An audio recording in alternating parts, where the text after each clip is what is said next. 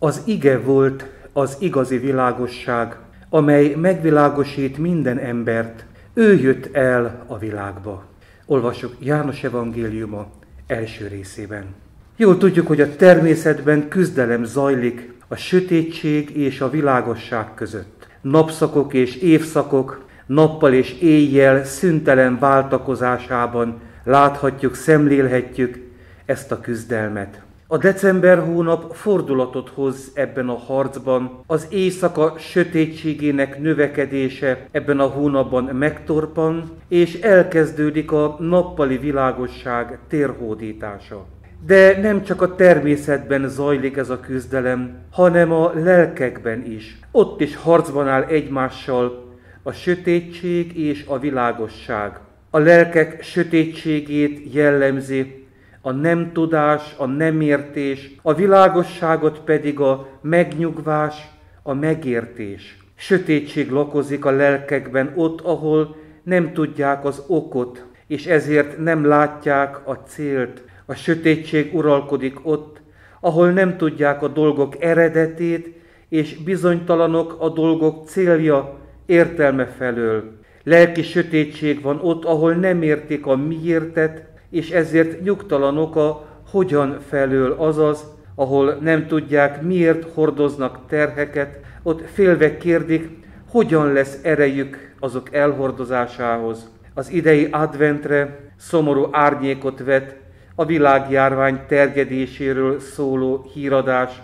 Az az izgatottság, amely a korábbi esztendőkben többé-kevésbé az ajándékok kiválasztását, a családi, baráti találkozások tervezését kísérte, most félelemmel vegyes. A várakozó tekintet, figyelme megoszlik a közelgő ünnep és a járvány feletti egyelőre távolinak tűnő győzelem között. Mai tudásunk szerint karácsonyt előbb fogunk ünnepelni, mint a betegség feletti győzelemnek örülni.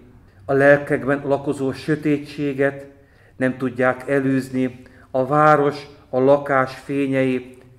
Ebben az idei adventben talán különösen is értjük, hogy valami más világosságra van szükségünk, valami más világosság után vágyakozunk. A keresztény ember adventnek nevezi azt az időszakot, amelyben várja, hogy múljék a sötétség, és eljöjjön a világosság, már az időszak neve utal a világosság forrására, Jézus Krisztusra, hiszen az advent nem más, mint az eljövendő Úr Krisztus várásának az ideje.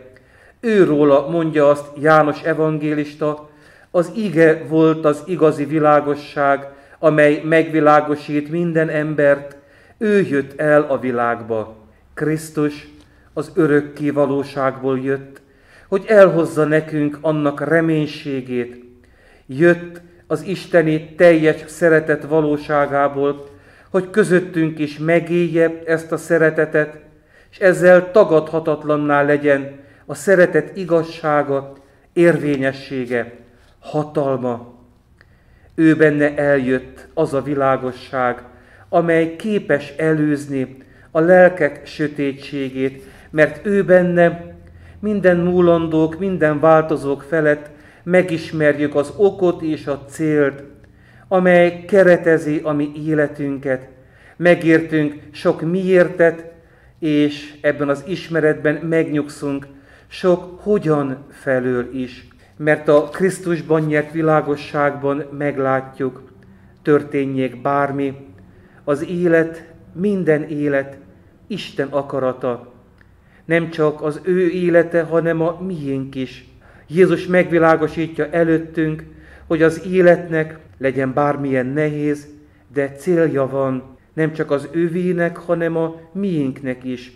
Jézus tudta, mi az ő életének célja, és ezért nem csak kész volt elhordozni annak terhét, de mindezt valami csodálatos és felülmúlhatatlan békességgel tette. Ő a mi életünknek is olyan célt ad, amiért bátran lehet vállalni terheket, lemondást. Karácsonykor ez a világosság jött el a világba.